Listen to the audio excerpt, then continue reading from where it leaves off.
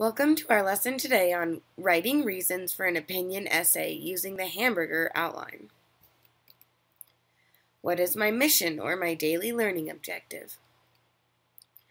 Your mission of the day is I will be able to identify the reasons that support my opinion in the body of an essay.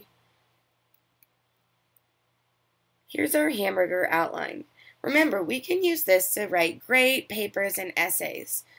You always start with the introduction, which we just spent a lot of time working on, the body or the reasons, and the conclusion.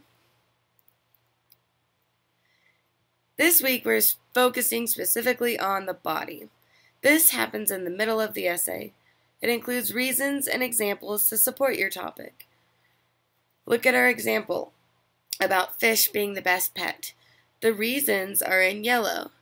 First, they are easy to feed. Also, fish are very quiet. They never bark. Another reason fish are the best pets is because they are very colorful. They come in many different colors like orange, blue, and purple. So those are some reasons why they believe fish are the best pet.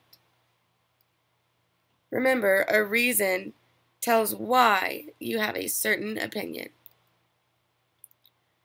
They should be very specific to your introduction and topic, and they should support your topic by further helping the reader understand what you are trying to write about.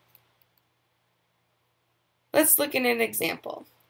Would you rather be a spider or a fly? Here's the topic sentence. In my opinion, I would rather be a fly. Now look at the reason.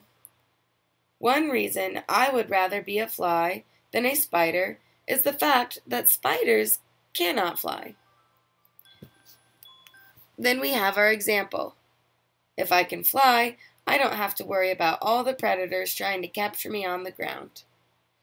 The example goes with the reason. It's more supporting detail showing us why you're using that reason.